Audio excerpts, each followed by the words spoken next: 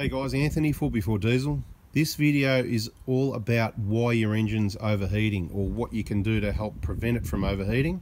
So all the different aspects, the radiator, the cooling system, the thermostat, the fans, how they work, and under what conditions the vehicle might overheat and why, and how to prevent it. So there's going to be a whole heap of information.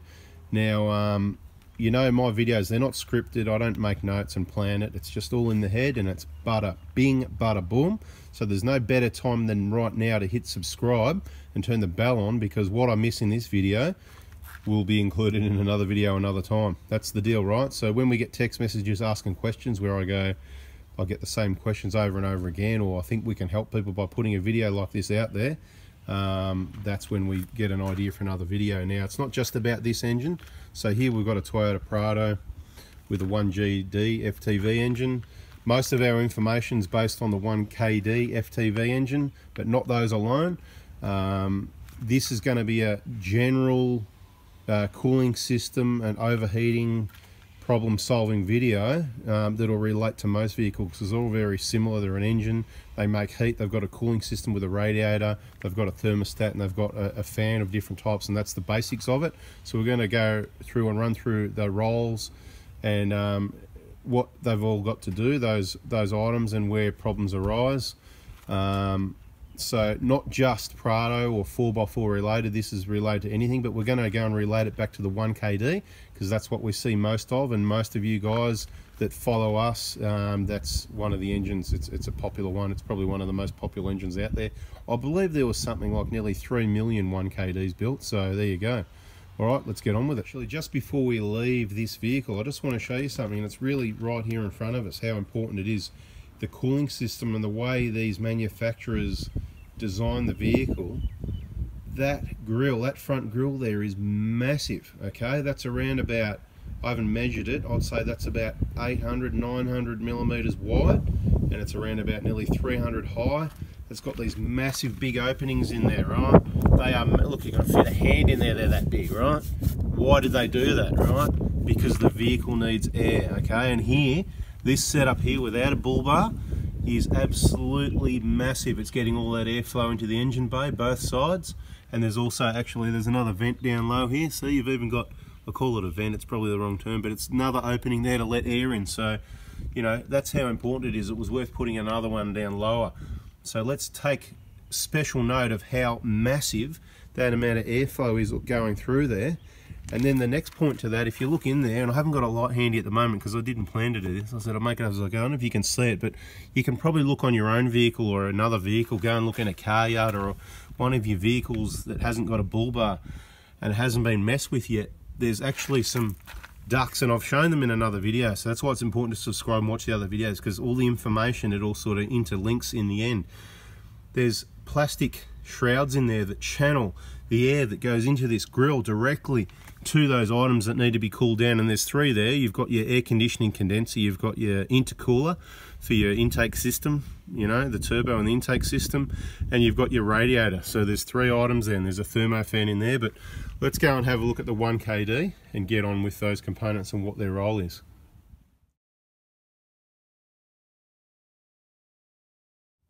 Okay so what's happened here? We haven't got to explaining the system yet, but I just want to show you. Oh no, what's happened here? Well, not much airflow left. Let's have a look at this, right? So from the start, on a 120 for example, you've got the grill there, where an amount of that is taken up into the bonnet for the intercooler. See that?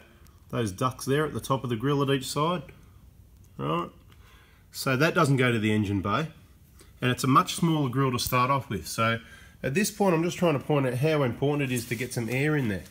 Okay, now, so we've got the limited amount of grill space there already, and then we've put a light bar in the way to block some of that airflow. So if you look at it,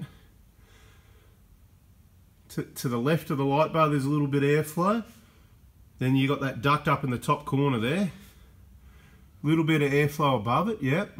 But towards the top, the top half of that opening with the Toyota badge there, is the cross member, the part that comes across the top of the radiator support panel, and a lot of that air goes up and it just hits the seal on the outside, so that doesn't really get in there. Then at the right side, you've got that duct again, and then of course going down, you've got the light bar. Now, don't get me wrong, there's some air going to get in there, but not a lot. So then, look, so I don't think this design bull bar is the best, but look, what you can see it's an ARB bull bar. What they've done, they've put a slot in there for some air to go through there. So that, okay, that's good, I like that.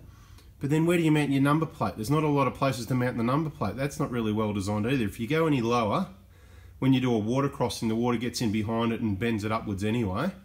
If you go higher, you can't go any higher than that. So that's about the only flat place you can mount a number plate. So that's blocking 50% at least of that airflow that was going where that slot is cut in there, okay? Then some people have got a winch in behind there. So certainly not a lot of airflow. I'd suggest we need a lot more airflow for a start. And um, let's have a look underneath here. I think there's an opportunity here, right? See that black plate there? I'm not sure if Kaon's got something. I did mention it a little while ago. That black plate there could be redesigned and have some air direction funneling the air up to the cooling system. That would be awesome. So we need to find out more about that. That's not what this video is about. We're going to get on with the cooling system operation, but straight away we're at a disadvantage because there's no airflow going into that engine bay and we need a lot more than that okay? Now don't get me wrong it'll do the job and most cars aren't going to overheat but they're not going to be as cool. The parts that it was designed to get cool aren't going to be getting cooled and they're going to be running a little bit warmer particularly when you get into the hotter weather. When you've got hotter weather you're towing that's where they're going to be at a massive disadvantage where you need this cooling system to be working in optimum condition now let's talk about why and what the roles are. All right, cooling system 101. I don't know, I think it's the term of the week. I did something like this not long ago, 101. What is 101? 101 reasons to, I think it's something along those lines. Well, this isn't 101. It's kind of like people use it as a basics, something 101. Anyway, who cares? Hope you know what I mean. Like I said, it's not scripted. I just make it up as I go. It's just all in the, it's all in the brain and it's just going to come out. So by the way, filthy engine bay here. Needs a bit of a clean up. No, it's not too bad. It's just been used, a bit dusty, a bit of water. Okay, so cooling system. Okay, the main components of your cooling system are, your probably number one is your radiator, and I think hopefully everyone should know what a radiator is. That's located underneath this trim here.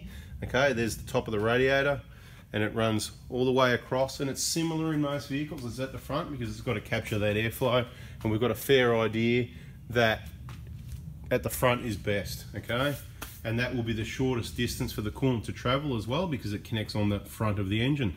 So there's a couple of things to take into account. The distance to the radiator, the connections, the hoses, and of course the best airflow and the size of it. Now, this is a Prado 120, um, 1KD FTV engine, and the height of the radiator, it's full height, okay? I again, I haven't got measurements. Let's take a guess. It's probably 600 mil high, something like that, about the same width as well. We're just going ballpark. I'm not into the specification of the radiator. It's all good. Right, so if you were to take this trim off, you'd be able to see more detail. Radiator here, and you've got the aircon condenser in front of it. That's what this is down here. We'll just have a look and see what you can see. We'll just go down there a little bit so you can hopefully see what's going on. This is your not your radiator. This is your condenser for your aircon. That's another video, and we can explain all the components of the air conditioning or uh, the you know not the cooling system it's not the cooling it's the you cooling system or the me cooling system because we want to be cool too that's another video guys so be aware this is not your radiator okay we've done other videos showing you how to clean some of the debris without taking it all out of course taking it out does get it clean better but you don't want to be doing that every year probably every five years or something like that it's worth doing depending how you use the vehicle if you use it just to go to the shops and back you're not going to get a lot of debris in there. If you do outback trips, bugs and um, dirt and dust and mud holes and all that, they're the things that need to be cleaned out. So basic components. The major component of your cooling system is the radiator. Its job is to cool the coolant or water, whatever it is, the fluid. Let's use the word fluid's probably better. To cool the fluid that runs through it. We'll get to why and where it's coming from and why it's hot. So its job is to do that. The way it works is obviously the coolant comes in, um, there's a tank on each end, so there's a these days is a plastic tank on each end, and it's usually an alloy radiator. Okay, and there's an O-ring in behind there, and there's all these little tabs that are bent around that fix that plastic tank onto there. Okay, don't worry about pulling it apart these days. You know, it's just replace. You know what I mean? It's not even worth it by the time they do all the work, clean it. Australian labour prices, you just get a new radiator. These generally don't leak. If they do, bit of a slow leak at the bottom. Again, that's in the other video. So radiator. Okay, its job's to cool down the coolant. Okay, So it runs through the radiator in the radiator in these little what we call it. It's not fins because the fins are what go in between, like tubes. Okay, they're tubes and they're probably around about an opening of about let's say two millimeters. Again, I haven't me uh, haven't measured it. I'm just going off the top of my head from what I see. They're about two millimeters by about. They could be 10 millimeters wide, 15. They can be even longer. You know, you can get big, thick radiators. You know, you get into trucks even bigger and all that. We're not going there. We're talking about passenger car averages here, right? So the coolant flows through these tubes across the radiator, okay? The air flows over the tubes, right? This way, in the front where we showed you where it comes in. And as the air passes over those tubes, the coolant in there might be, say, let's just use 90 degrees, right? And as the air passes over, well, if the air is 10 degrees, it's going to knock quite a bit of heat out, isn't it? And if the air is 45 degrees, it's not going to knock out anywhere near as much, which is what I'm trying to point out you need it working at its maximum, right? Because when the air is 45 degrees and the coolant's 90 plus degrees on these engines, up to 90 is considered normal, over 90 is getting warm. And you, you, I'm going to follow on with all the reasons why, okay? Now there's all these little fins, I don't know if you can see this one down here. Um, I'll just grab another light quickly, I don't know but there is what I would call fins in between the tubes. Okay, now I'm not a radiator specialist or anything, but so they're, they're your tubes there. This is the condenser, remember, but similar setup. These are smaller though. They're your tubes and there's little fins in between, so the air can go in between. It's heat transfer, right? So then the air cools down these little fins, which it, it, you know it's all connected to the tubes you know just like you use your brakes your brakes get hot and then it goes into the caliper and it goes into the brake lines and the brake fluid and so on right so heat transfer so that, I hope you get the basics. That's the job of the radiator to cool down the fluid. And you probably a lot of people sitting there going, yeah, yeah, we know that. Get on with it. Well, just like I've said before, there's some people that have got no idea. We're catering for everyone here, so please be patient. So your radiator that cools it down. Now, where does the heat come from? Well, the heat comes from the engine. That's another video. Um, you know, your engine. It's got lots of little explosions going on in it, whether it's a petrol or a diesel. Diesels do generate more heat because it's the heat of combustion that causes combustion, okay? So understand they do make more heat. So it's even more important in a diesel to not upset the design of the cooling system, as has kind of been upset here with the bull bar. There's no direction here for this air as well. When it comes in from here behind this bull bar through that through that little gap that's left there each side of the number plate, it could just go sideways and out under the headlight instead of it's not directed, it's not channeled into this cooling system like it is on a lot of vehicles. This has been going on for decades, okay? We see vehicles come out. They slowly change the design to make it look good, and then they have cooling problems. And that changes again to have this big opening in the front of the vehicles. You have a look around a lot of these cars. I'm going to use the Fords as an example in the last 10 years, you know? Like the, the last of the FGs, they really open up the front there. And when you look at the design of all the other ones, I don't even know the names of the makes and models, whatever. I'm not going to go into that, but you'll see this really big opening, big flat grill. That's because they know they need all that air cooling to go through there to cool all these systems down. Not just the radiator, but the air over the engine also, right? The air is a lot of cooling. Besides water cooled the engine, but so anyway, back to the engine. So the engine's making the heat, right? So there's cylinders in there, bang, bang, bang, making lots of explosions, making a whole heap of heat. And those cylinders are surrounded by coolant or water. We're just going to use fluid. I'll say coolant, water, or fluid. You know what I mean for the terms, you know, the terms kind of thing, you know, where you look it up. So the fluid, whatever it may be, is getting hot. Okay, so it needs to flow. That's why you've got a water pump in place. The water pump's generally on the front of the engine. Again, it's in other videos. We've talked about that. Most people know what I'm talking about. The water pumps the fluid around. Okay, now, we've also got a thermostat. Okay, generally you know what a thermostat. In this case, in an engine, a thermostat, it is kind of like a blocking plate and it opens up when it gets to a certain temperature. In these engines right here, and probably the 1GD is about the same, these are 83 degrees, these thermostats, and the cooling system works really well. At idle, these pretty well always idle on 83 degrees. If it doesn't, you've got a problem that's when you probably need a new thermostat. Now I'm going to give you a lot of probably maybes and general information. I'm not here working on diagnosing your car right now, so it may vary. But if you've got a 1K FTV, every one I've ever seen in normal working condition idles at 83 degrees. That doesn't mean you've been on a heavy drive, you come back to idle and straight away it's on 83. It's going to take a little while to come down, but if everything's working normal, it's going to be come down to 83. Okay, when you're driving in average conditions, it's going to be around 85, 86 That's about as much as you should need to see if your cooling system's working pretty well. When you start working it up hills and towing, you're going to easily see stuff like 90. I suggest anything from 90 onwards, you just back off and take it easy because up 75 to 90 is considered normal operating temperature. Okay, thermostat's right in the middle, 83. So the thermostat's job is to control the flow because we don't want to run around with a cold engine or transmission. All these things are designed to run at you know ideal operating temperatures, and in this case, it is 83 degrees, 75 to 90 degrees on this engine. Very similar with all your other diesel engines. Okay, um, so we've got the engine making heat, we've got the radiator wanting to cool it down, that's good, and we've got the water pump pumping it along, and we've got the thermostat controlling the flow. Now, some people in the old days, they go, oh, it's, it's overheating, you know. Old cars were different, right? The cooling systems were average at best. All the materials, the quality of everything, oh, it was rubbish, mate, you know. Rust and everything all the time, and then things cake up with rust. We'll get to that. That doesn't happen with these, but we'll get to that. It's all part of the video, unless I forget. That's why I said subscribe, because you'll get it in the next one in case we miss it in this one. Go back and watch all the other videos. So the thermostat's controlling the flow. So it's going to stay closed until the engine gets to 83. So all those little explosions, bang, bang, bangs going on in the engine and it's warming up, right? That's why your heater doesn't work yet. Your heater works from the heat of the engine. So when you get in your car and you start up, while your heater not working? It ain't going to work until you get, you're going to slowly start to get heat as the engine warms up, you know? When on the 120, for example, when the needle gets to the bottom of the normal, the, that line at the bottom there near the cold, that's around about 50 degrees. Once you get to there, you're going to start feeling a little bit of heat out of your heater. We're not going to go through the full operation of the heater in this, but that's why there's heater hoses and that goes through to the heater core through the dash. That's what creates the heat in the vehicle, in case you didn't know. Right, so thermostat.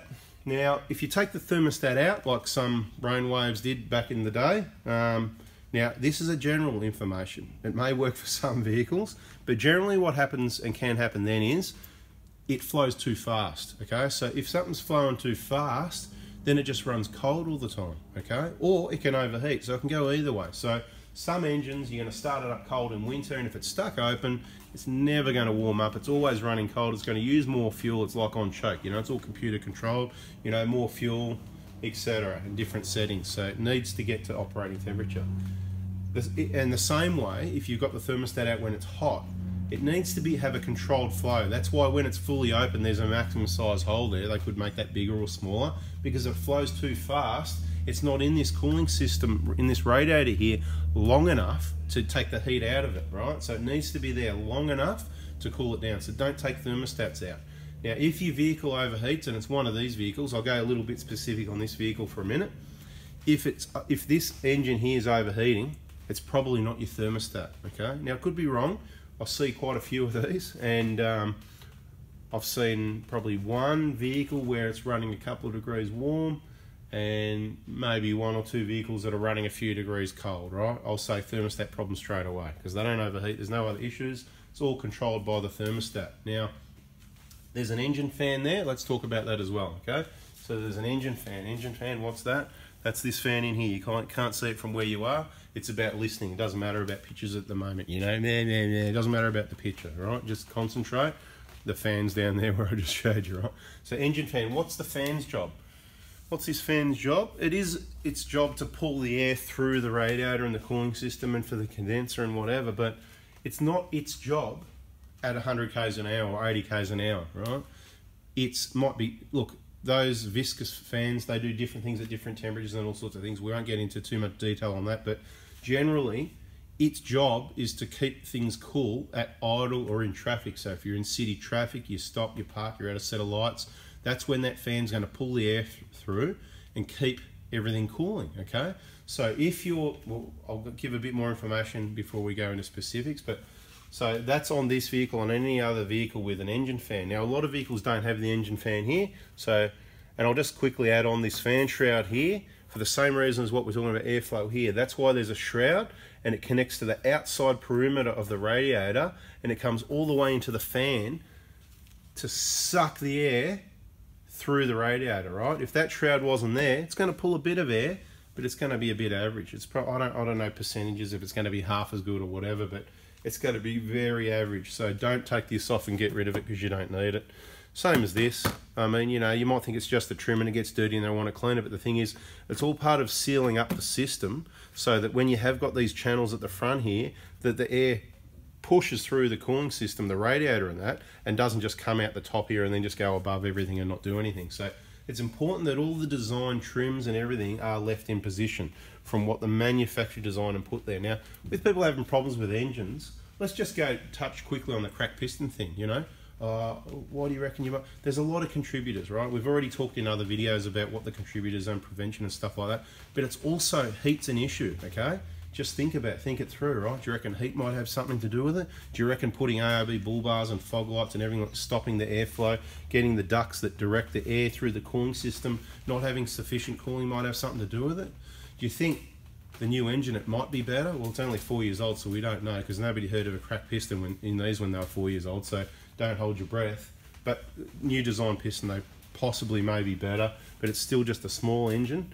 And why do you think the newer vehicles got a bigger grill and more airflow? Do you reckon they might have figured out they need a bit more? And you putting bad design bull bars ain't going to help the situation. So it depends whether you want reliability or tough. And we've talked about bull bars and whether you need one or not in other videos.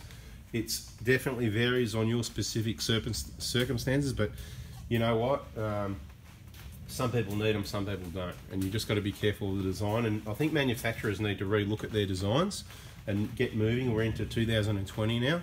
Something that looks a bit better, things that are more secure, stronger, lighter, and with the airflow that we need. I know it's a hard one, but that's your job, guys. You got the piece of paper, you're the engineers, now go for it. There's room to improve.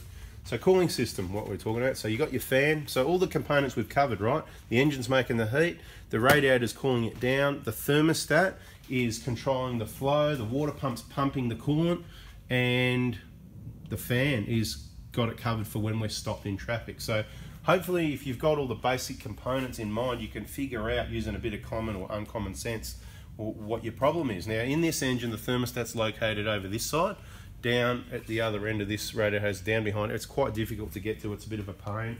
Um, but luckily, these thermostats usually don't cause problems. I'll say never, but it's not never, it's pretty close to never. Um, so lucky we don't have to get and change those too often. Your best bet is to get all your airbox and everything out of the way because you're going to need to get, it's quite fiddly to get to. Definitely airbox out. Yep, that's the airbox. Let's have a look over there. Airbox, you know, the airbox over there. Yep. So back up here a little bit again. Um, so cooling system, we've got all our components. Of course, it's connected up by hoses. We're not going to call that a component of the cooling system, really. Um, so the deal is, the engine's making the heat, the radiator's cooling it down. So you're driving along at 100 k's. If the vehicle's overheating, okay, it's most likely nothing to do with your fan, okay, nothing to do with it.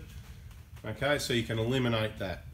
Okay, now traditionally one of the biggest causes, so we'll go with some decades of experience here, so not specifically this vehicle, but it's going to relate to most vehicles. Traditionally, the biggest cause of engines overheating is blocked radiators. Now, when we say blocked radiators, yeah, the radiator, this bit here, you know, those, not fins, what do we call them? Tubes that go across, they get blocked up because what do we say? They're only one or two or a few millimeters wide anyway, right? So it doesn't take much of a build up of scum. Think about a dirty pond of water sitting there, you know, how you get that growth and whatever. Well, similar sort of thing, and you get rust and corrosion and whatever. Now, when you use quality materials for components like Toyota do, and quality coolant, you don't get any of that. So with this vehicle, so back to specific on this vehicle and these vehicles and Toyotas in general, I'll say, I'll go as far as to say Camrys, Corollas, whatever, it's not going to be the cooling system. If you've got nice, clean, red, pink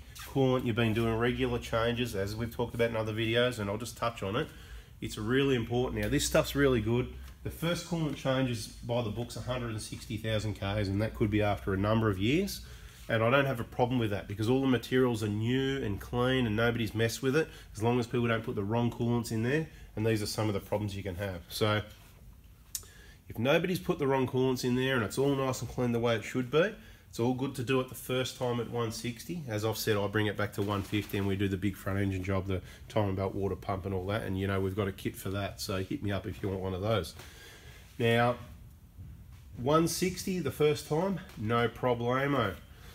After that, I recommend you do it every couple of years. I'll do mine every year or two. Coolant's a much cheaper insurance than risking all these components we've talked about from rust, corrosion, into your heater core, which includes, you know, dash working behind the dash and whatever, if your heater core rust corrodes or leaks and that sort of thing, okay? But your most important one is probably your radiator, but it also stops rust and corrosion in your engine, your water pump, you know, Welsh plugs and all sorts of things, which can be in a lot of engines in behind transmissions if they start leaking. You're creating a big job, lots of repairs for not making sure you got clean coolant.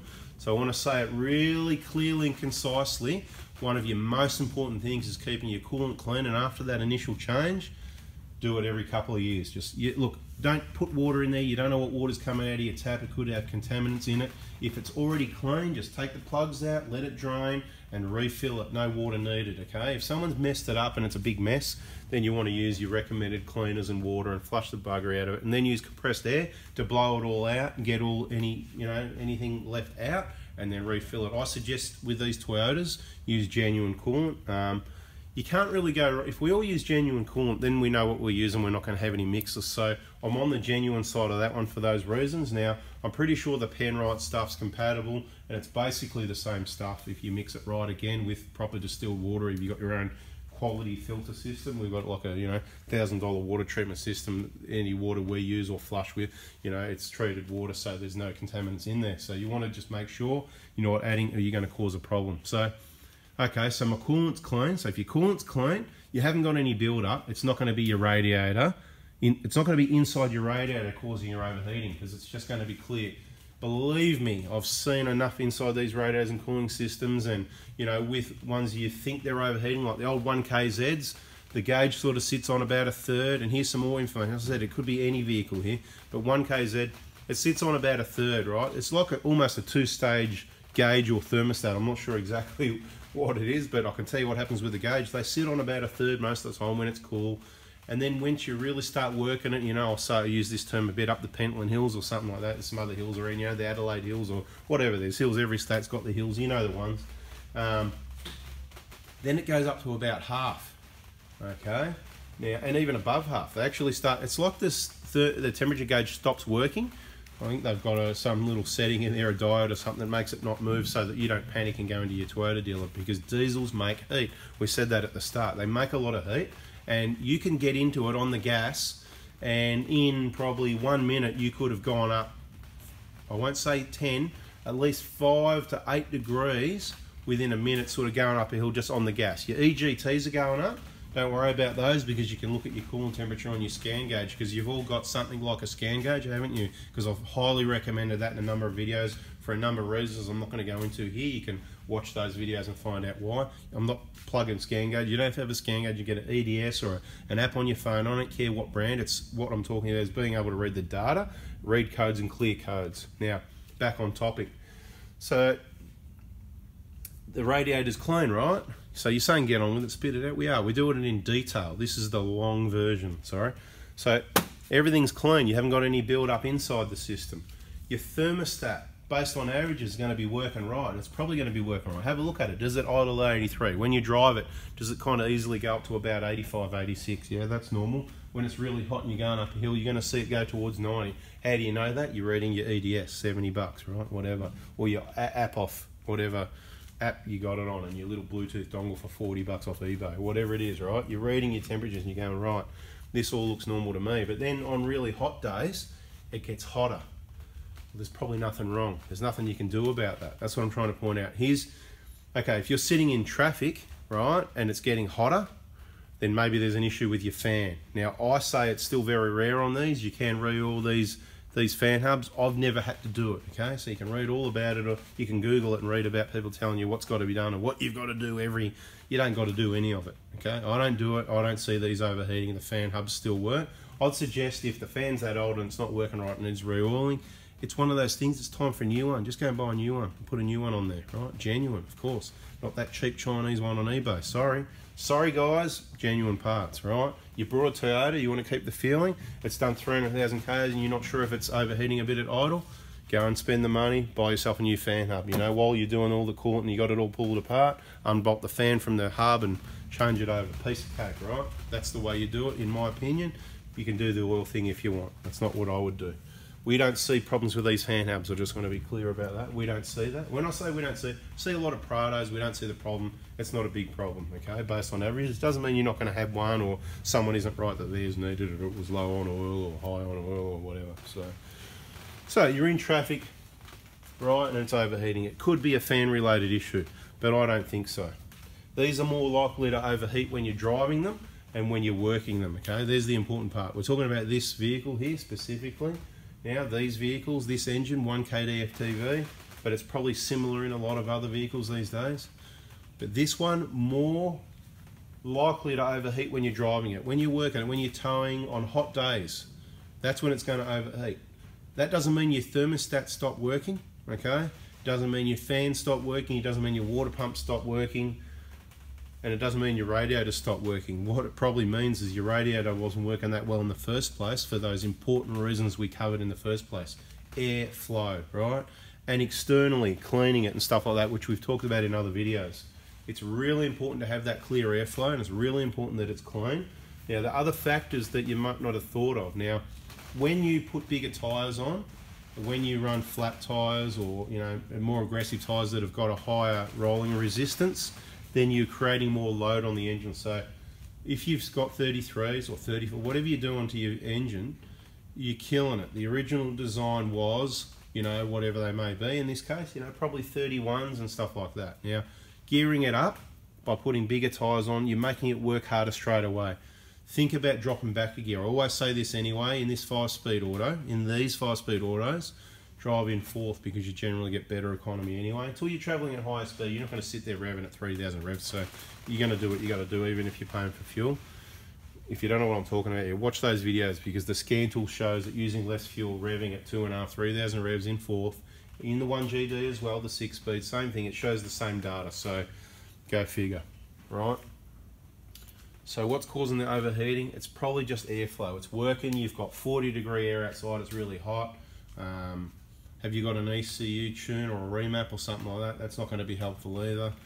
You really want, if you want reliability and you don't want problems, you've got to really work towards having a lot of these things in their standard form and making sure they're working in peak performance, right? So if there was an issue with this vehicle getting hot, for example, first thing I'd look at is cleaning the cooling system and the airflow. Now, if it's really bad, replacing the radiator might fix your problem because the whole core is caked with mud, but then you've got to get it out and analyse it, clean it and see do you think that's the problem. There's been a number of vehicles where we've cleaned the external part of the radiator and look, this is where all the bugs, dirt, all the debris, dirt, bugs, wasps, you know, all your small bugs and that, they just jams in between. And it's like a wall. Instead of a flow, it's like a wall. The air doesn't flow through there. And if it can't get through that condenser there, back down to the condenser, right?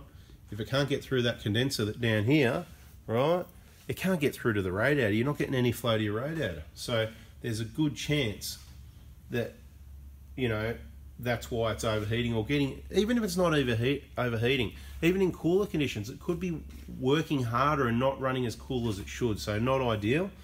Um, and of course, so the bigger tires, the roof racks, you've got your swags up there. The faster you go, the harder you're working these engines. So the killer on these, I've mentioned in other videos, I think we've pretty well covered what we're going to say, but you know, the killer is you've got this big four drive, it's big, it's heavy. This thing, you know, on an average day, as I said before, it's about 2,800 kilos. Um, other vehicles, more or less, you know, there's plenty run around out there that are three ton plus. They're loaded up, they've got all the gear, it's nice and heavy, they've reduced that airflow by, you know, stuff all over the front, you know, and the redesigning with the, you know, bull bars and stuff. And the stuff on the roof rack creating a lot of resistance, it's working hard, it's making a lot of heat, and this is detrimental to the longevity of the vehicle. The standard vehicle without any of the mods, that engine is going to last longer, okay? So obviously they're just tough engines and they're going to last forever anyway, subject to certain maintenance, etc. Um, so it doesn't really matter that much, but if you're chasing an overheating problem, I hope this has helped you. It could be to do with the external side of things on the radiator. It could be to do with all the bigger tyres you're making it work harder, hotter weather, um, if you want to check the thermostat, as I said, you just plug in a scan tool and you can see if it's idling at 83, try watch it go up. If it, if it, look, it can get more complicated than this, right? Okay, so if your coolant, your cooling system's clean, you're going to have the flow. You're probably wasting your time pulling the radiator out, getting that clean. You're going to find that it was you know, when they go, oh, it was 7 or 10 or 15% blocked, that's not going to be it. It's going to make a small difference. Um, it's when they say it was 70% blocked, they're the ones, but we don't see that anymore. That was the old cars. Average coolants, coolant mixes, not enough coolant, um, qu poor quality materials used and used to get the rust and corrosion, all the mess. Manufacturing, swarf and things, blocking things up, not good. So radiator, not going to happen. Thermostat, not going to happen. Fan, not going to happen. Basically, that's probably why these don't overheat. That's what I'm here to tell you, they don't overheat. So if it does, I hope you've got a better understanding of the cooling system so you know where to look, but I wouldn't be thinking it's the thermostat initially. Um, again, if it's got if it's a thermostat sitting there idling, you're going to see an issue. So if you see an issue at idle, check that. 83 degrees, right? If it's sitting on 87 at idle, mate, you've got a problem, right? Okay, you've got a problem. Change the thermostat. Absolutely. That's how you're going to diagnose your thermostat. 83, let's go to 84. 83 to 84, that's it. Any more than 84, look, don't get me wrong. See, this is, it's a hard one, okay? So I've seen one that idle say 85, 86, but it's just opening at a slightly higher temperature. It's not meant to. It says 83 on it, but it's opening a couple of degrees hotter. But once it opens, it doesn't matter because you've got the same flow anyway, if you know what I mean. Once it's opening at 86 and it's got the airflow, so the vehicle doesn't overheat. It just idles a bit warmer, but it doesn't overheat, right? Because once you get to, say, 88, the thing's full open, full flow, so it doesn't really matter. It's just your idle temp's a little bit out. So I hope you understand that. I don't know what else I can tell you guys. That's your cooling system. Um, in older cars, you know, they had a spring on one side of the hoses and that that used to rust out as well, and then the hoses would suck in and stuff like that. But these engines don't have any of those sorts of issues or springs in the hoses, so it's not any of your hoses. Of course, one of your main reasons that I haven't mentioned yet, which I would seem, I would think is obvious why it would overheat, which is probably why I haven't gone there yet, and we're going to go there last, is your coolant level. Your coolant level, of course, if you've got no coolant you've got air in there, it's going to overheat. So, sorry if I didn't mention that at the start, but that would just seem so obvious. Make sure your coolant level is at the correct level, right? So with the engine switched off cold, it's going to be around about the full line. Notice where the full line is. So if you've got coolant or fluid or whatever's in there, as long as it's at the full line, happy days. Now, if you've got water and rust in there, that's probably part of your problem, okay? You shouldn't have let that happen. Then you're probably going to want to replace your radiator, your thermostat, your water pump, every component because it's an absolute mess in there. You want to do a lot of cleaning, get some of the right products and put in there and help clean and stop that from going any further and get the right coolant in there. Now, when we say coolant, let's talk about the word coolant because it's a bit dodgy, right? It's a bit of a dodgy word, coolant, because coolant ain't coolant, is it, right? Let's have a look. Here it is, right? Let's have a look. what do we got here? This is what we use in all the 1KDs, right? And it's good stuff, and it's ready to go, right? 50-50 premix super long life coolant. There it is, it calls it coolant. So it's a bit confusing because it would lead you to believe that it's going to keep your engine cool. Well, guess what? It ain't going to keep your engine cool, okay? Its job isn't to keep the engine cool. Now, there is possibly certain things in there that help um, it from freezing, okay? So once it goes below a certain temperature to avoid freezing and maybe to not boil, and it does say that actually, here you go, ready to use anti-boil, anti-freeze, corrosion inhibitor. So they're your three main purposes, so why call it coolant? Because coolant, it's a bit misleading, isn't it? You making think it's going to keep cooler, do I need to change a coolant? Well, hang on. No, because it doesn't do anything. This is what it does. It stops the fluid from boiling, it stops the fluid from freezing, only to certain temperatures, right? But well within the climates here in Australia, that's for sure. In other countries, you guys that are watching, might be different for you. You need to do some research for your particular area, and that all depends on the, the mix, right? So you you know, if you're going to use the local stuff, if you're a Toyota dealer and your country country's not a big rip-off, I'm sure they make the right mix and product for you guys. And corrosion inhibitor. That's the key thing here, right? Because this ain't going to boil and it ain't going to freeze in most conditions. The key thing here is corrosion inhibitor. The corrosion inhibitor is your insurance to protect all your components and keep them working in peak operating condition. Okay, let's get rid of that. That's what it's about. It's called preventative maintenance. Okay, you don't wait till there's a problem. You're not saving money by not doing the work. You're just going to cost yourself more money later. And if it's not you, oh, I'll just sell it you're just putting it on someone else, right? So, you know, karma sorts that out. You need to look after things. because otherwise, you know, farming it off to someone else, it's not going to work out for you in the long term, okay? So coolant isn't coolant, you know, oils ain't oils, coolant ain't coolant, right? It's corrosion inhibitor, it's antifreeze and anti-boil. The key thing we want is corrosion inhibitor for all the reasons we talked about. Keep it clean like new. That thermostat down there is going to be working perfectly and when you take it out, I'm going to go grab one for you actually. Give me one, one, won't take long, 10 seconds and I've got one to show you. Oh, come on. Okay, we've got a couple here, right? Now these have been sitting out in the weather for a couple of years, but I want to show you what an old thermostat, a grubby old thermostat looks like, right? There it is, right? So with clean coolant, that's what it's going to look like. It's just going to come out and it's, you know, it's in clean, normal, fully operating condition. This one says 82 degrees on it. So there you go. So maybe they say 82 or 80, whatever they say. I don't really care what they say. That they all the ones I see, they all idle at 83. So 82 probably gives a reading of about 83 at the sensor and the scan tool, whatever, right? It's all good.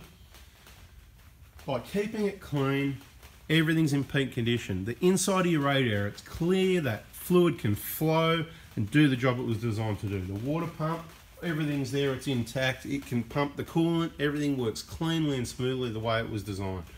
So, if all that's right and it's all clean, was it overheating? Well, you've either got a leak, and if you've got a leak, you've probably let the wrong person work on the vehicle. Okay, um, I don't know, if someone's done something, they've taken these this hose and these clamps off, and they don't like these clamps, probably because they butchered them, and they put a hose clamp on there, and maybe they've over tightened the hose and it's butchered up the hose, and it looks ugly anyway, because that's why they come out with these clamps, right? It's it's idiot proof, okay? It can't be over under tightened, it's just right, right? So when someone put a clamp, they over tighten it, they damage the hose, and then from all the heating and cooling, heating and cooling, heating and cooling, then eventually the hose rips next to the clamp and then you lose a bit of coolant and then because there's no other leaks on these. These don't leak coolant okay? Water pumps very slow leak. Your coolant level's not going to drop slowly over time. It's more of a mess. The radiator is very slow as well right? So I'm yet to see one of these with a genuine cooling system leak that hasn't been caused by someone. All your slow leaks is you just your water pump your radiator nothing else. Let me think that through. Nothing else that someone hasn't touched and made happen. Both those leaks very slow um, more information in another video. So, see, I just kept going, didn't I? So there's your coolant, that's covered. So, what you know, these don't overheat. So the only thing left, if we know that the thermostat's running at normal temperature and it's working and you're driving and it goes up nicely and all that, and that's cool. But then some days only on hot days it gets really hot. And we know that the fan, it's not in traffic, so it's not the fan. Or if it's in traffic and you're getting hot, well then you get out and do it, run on an 80k zone and it's fine. But then as soon as you stop in traffic and it's hot, then it's probably fan related. Yeah, makes sense. Think about it. That's what I'm here for. So you've got to stick till the end and listen because it, you know, we're going to go over and over again a few. But you know what? I didn't learn this in half an hour, an hour either, right? So if you get an hour out of me, be happy you got the hour because bada bing. See, like I said, the camera will sort that out. Now, this is the deal, right? If you do the 80Ks and it's running beautiful, it's sitting on 86 and you're happy, whatever. Again, Australian temperatures. Um, it's on 86, no dramas. And then you come to traffic and you stop and it goes 87, 88, 89. You've probably got a problem here with the fan. It's not spinning, it's not pulling any air, you're not getting any airflow. That's why it's getting hotter. Doesn't happen in these, but if it happens, that's what will be happening, right? Because that's its job in traffic, okay? Now, if it's the opposite way around, which is it should be, you slow down. Remember what we said, the engine makes the heat. If you stop at the lights, the engine's not making any heat, it's just sitting there idling. Popping into neutral is the best thing you can do, right? Take the load off the transmission. Better for the transmission, better for the cooling system, better for everything, right? Once you stop there, just remember to put in drive before you hit the gas and drive off, right? Don't do it. If you're not good at this stuff, don't do it. Just leave it in drive. Do whatever you want. I'm just giving you tips on things you can do to make it even better. You come to a stop, and it cools down, beautiful. You know your thermostat's probably working right, your fan's working right, happy days. If it's when you're traveling at speed that you think your temperature is getting higher, you need to be able to read the numbers, not just look at the gauge. Forget about gauges, they're a guide. It's like those sight glasses on the battery, going off topic for a second. Don't even look at those, okay? You know, put a bit of tape over it because they probably don't work, not half the time, but you know, there's a high percentage of the time they're wrong, they're not quite right, whatever. They're a guide, they're a good idea, gimmicky thing, but you know what? They'll show you it's okay when it's not, and they'll show you it's crook when it's fine. Yeah, anyway, mate, we're talking about cooling system, not batteries. Sorry about that, guys. We are interrupted by a phone call. It was good timing too, because again, off topic, batteries. Anyway, cooling system. I hope I've explained all the basics, how it all works, how important the coolant and the airflow is, that it's clean coolant, the airflow's there, when you're going to be able to pick if your fan's the problem, stopped in traffic, thermostats are rarely a problem, Th radiators used to be a problem, but not if the cooling system's clean. If your cooling system is gunk, then it's probably going to be radiator, but I wouldn't rule out anything else either because of the gunk. It just stops thermostats from opening, closing, working right, they jam, right? And the biggest thing is your radiator. That is your biggest thing, the flow to the radiator, okay? So that's really important, the flow to the radiator. So I want to go back to what I mentioned at the start about airflow. You need to do everything. If you've got a, if you're towing a caravan and you've got a modified four drive, well, it's a recipe for a disaster if you've got all these mods, bull bars, lights and everything, and it's hot, change a whole redesign of the front of the vehicle, and you're doing a lot of heavy towing. That's probably one of your big contributors, airflow, cooling, okay? You really need to think about what you've got in front of the vehicle that's stopping that airflow, and you need to do what you can to increase it. So if you've got an ARB bull bar, check out what Kaon's got. If they've got that um, under tray replacement, I'm going to do the same thing. They can direct some air up to the cooling system because that's going to be a big plus and add some uh, cooling up there. And um, if they haven't, let's ask them, hey, are you going to make one? I think you need it, obviously, on, on all the ARB bull bars, probably, particularly, you know, the 120 and the 150 Prado is about all we care about a lot because that's what we see and work on and whatever. But look, same deal. Maybe it's something ARB can do as well. ARB could just come out standard with a bit more airflow. They could have some more slots cut into the front of these bull bars, you know. Isn't it CNC and whatever? It's pretty easy to program up some slots that get cut in there and those trays underneath there with some slots and some bends so that, you know, it, it funnels and maybe some channeling in behind the bull bar that just channels that air. I know, you know, you're the engineers and you got it all worked out, but if Toyota, I think they're bigger and better than you, by the way, I'll just put that out there. And if they came out with those plastic trims at the side to channel and funnel it. And same with other manufacturers. They're the big successful manufacturers. If they came out with that, don't you think it needs it and it's meant to be there? Right? Otherwise they wouldn't do it, okay? And you might say, oh, we haven't had any problems. That's the usual answer from many. Oh, we haven't had any problems yet. Oh, we haven't had any problems. Well, you know what? It's hard to relate that problem to a cracked piston, for example, right? So, you know, it could be all caused by ARB bull bars. There you go. Have a think about that do that as part of your survey when you're looking around. How many engines that have had a failure, whether it's a Ranger or whatever, right? Because it happens in them too. A lot of small diesel engines, like I said, big four drive, heavy brick, wind resistance, bigger tyres. You're making it work hard. You've blocked all your airflow.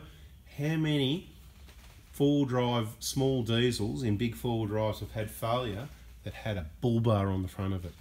I'll leave you with that thought. Hope you appreciate all that time, and I am out of here. Bada bing, bada boom, subscribe. See you, mate.